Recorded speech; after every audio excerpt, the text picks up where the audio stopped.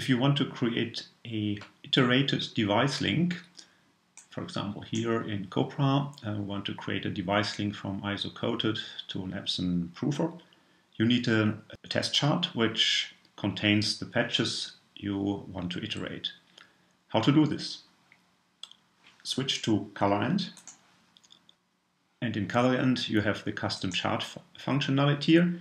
Then you decide on the color space. In our case, the source color space is ISO-coated, so uh, the color space is CMYK.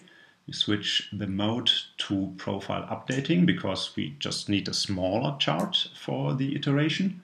So we use uh, this option here. And now um, it depends on which colors you want to see in your proofing. For example, if it is a media wedge, um, so the, you want to add those patches as well to the test charts. And you might add as well other patches that are important for you. To add the media wedge here to this um, little chart of 100 patches, you go to File, Open Predefined. There we have the media wedge reference file. And then you simply select those two charts and link them together files with the same color space.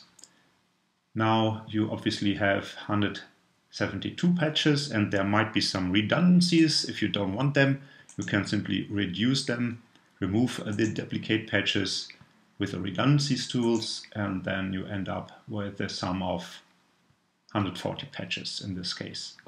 Uh, from those patches, you can go on and use the export chart tool and mm, use the uh, settings for your instrument, for your um, instrument for measuring, and create the chart um, of your liking. And that's the chart that you want to use then for the iteration process.